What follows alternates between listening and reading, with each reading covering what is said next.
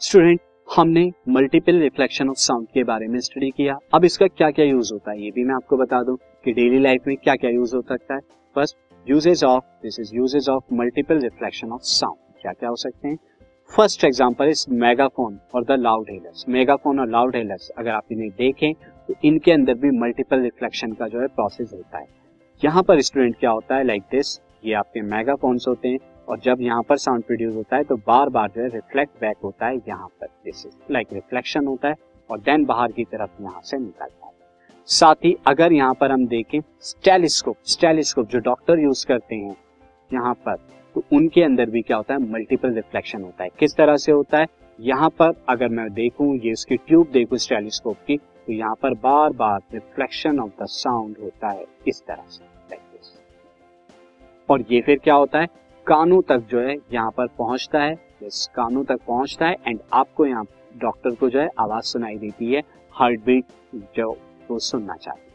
Next is curved ceiling of auditorium अगर आप बात करें कर्ट सीलिंग ऑफ़ ऑडिटोरियम जो बनाई जाती है, क्यों बनाई जाती है, ताकि जहाँ परफॉर्मेंस हो रही है परफॉर्मेंस के बाद मल्ट ये आपको अलग अलग जगह लाइक दिस यहाँ पर आपको रिफ्लेक्शन के बाद भी जो है आवाज़ सुनेंगे तो ये हमारे क्या होगा? Uses of multiple reflection of sound और next student the topic is the audible range audible range क्या होती है? यानी किस रेंज के अंदर हम सुन पाएँगे स्टूडेंट किस रेंज के अंदर हम सुन पाते हैं स्टूडेंट ऑडिएबल रेंज क्या होती है?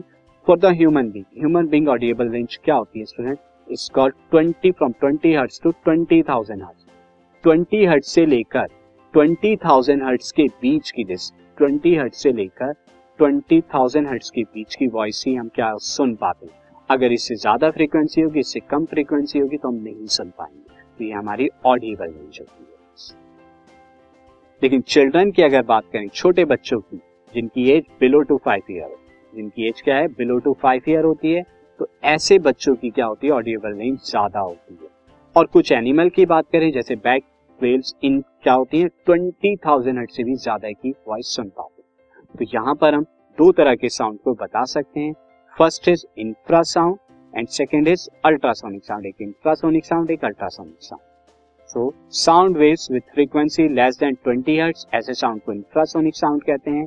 और जो साउंड वेव फ्रीक्वेंसी 20 हर्ट्ज से ज़्यादा की फ्रीक्वेंसी से मूव करती है, इन्हें हम क्या कहते हैं? अल्ट्रासोनिक साउंड तो ये ऑडिएबल रेंज थी स्टूडेंट